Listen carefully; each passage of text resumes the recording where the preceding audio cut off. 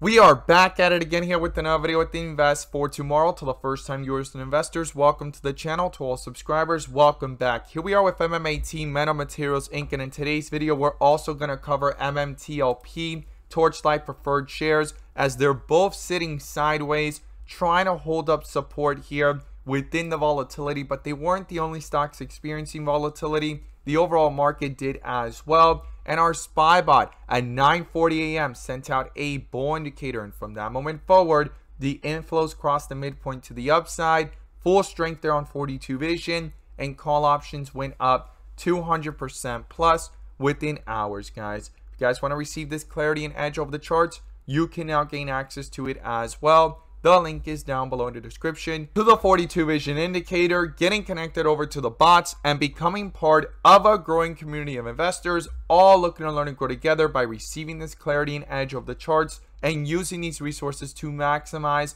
in either direction, whether stocks are going up or going down. So here we are with MMAT fighting to stay above 180. We were talking about some key levels yesterday, and today it rejected again at the same resistance that it rejected yesterday. So we have some key levels to talk about and what's going on here within the charts and the inflow versus outflow. But before we do, I want to share with you guys the home run opportunities I mentioned this morning over at the Discord. So the home run of the day was spectacular and beyond expectations. And if you guys want to know about these stocks early on in the pre-market and receive this edge and clarity of the charts, check out the link down below in the description to the Discord. And by joining, you'll become part of a growing community of investors, all looking to learn and grow together. So the first home run was from our Tesla bot. Our Tesla bot sent out a bull indicator since 9:35 a.m. and from that moment forward, inflows crossed the midpoint to the upside.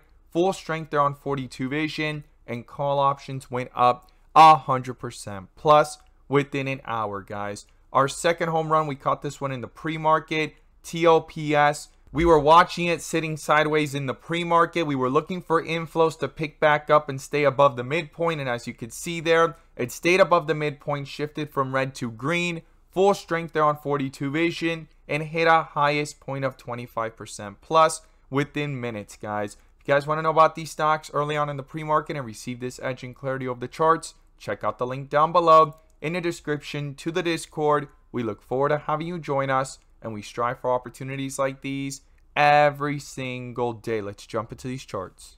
So here we are with MMAT Meta Materials Inc. bouncing as I stated earlier in the video above 180. Today it was actually 185. It continued to try to hold itself up and then it hit up here again 190s to 193 area and rejected before going any higher guys. And 190 has been a big resistance and $2 more specifically as well and 180 to 178 has served as a pivotal support that lets us know if there's any strength here or how weak this could get. So far, it's stayed above it. It's been above it, but it's been a fight here, guys. So we need to talk about what's going on within the charts. And you could see full transitions happening from the white with red borders to bright green, from bright green back down to the dip area, and so forth back from the dip area to the rip area, right? And this is what we use on 42 Vision to be able to see the dips from the rips. If it's your first time coming across the channel,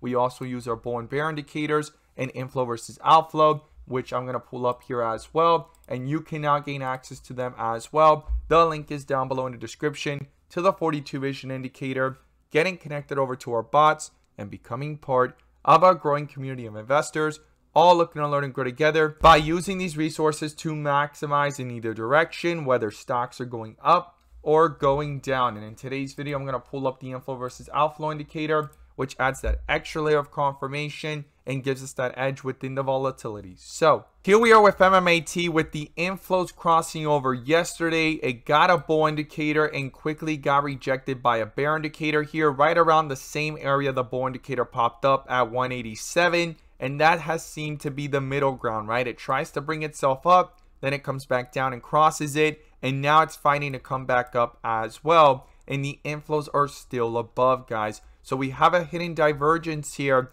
If this finds support and bounces back up, these inflows are holding up the stock. Now, if the outflows start to dominate and it comes down towards the midpoint or crosses it, this could quickly start to reflect into the chart and the support levels that we've been talking about will be crucial and pivotal here on any pullback going into next week, guys. So let's go ahead and break this down here on what's going on in multiple time frames. So within the volatility on the 15 minute, outflows have crossed. I'm going to be watching if it can bring itself back up and start to bring itself back up here as well because in the volatility, it is under a bull indicator here at around 187.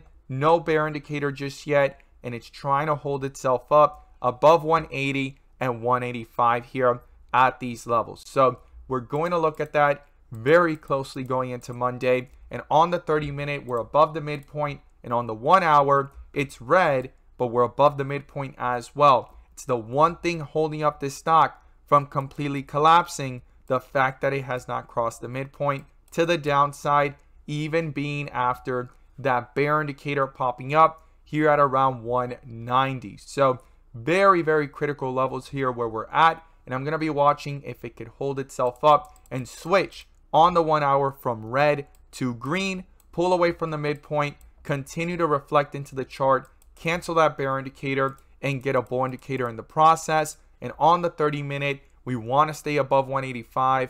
Below that is 180, 178 area. And then the next two supports I'm watching is 175 to 170. And we're going to watch if these outflows cross downwards or if it stays above and pulls to the upside. I'm going to be watching for this bear indicator to cancel by a bull indicator and in the process upwards to break back above 195 area and then $2. There's been multiple rejections at $2 at the 190s. I want to see this get back above the 195 and then start pushing towards 2. And if it can find support there and continue with strength, then we can start talking about 210 and higher levels on the charts. Now, MMTLP has also been in a sideways action, but inflows have been trying to pick up here as you see there in the chart, and this is critical because within the volatility through the pullback, it still has a bull indicator here, no bear indicator just yet, and inflows are picking up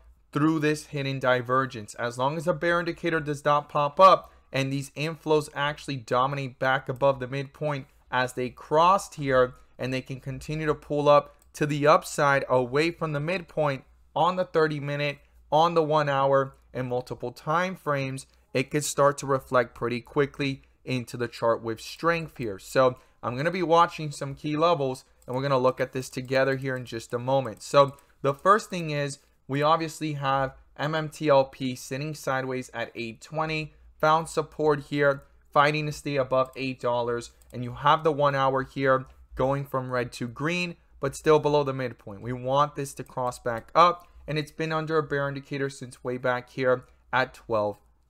Now, on the downside here, we're going to be watching as well if these outflows continue to dominate and bring things back down. Well, $8 is the first support and below that is 750.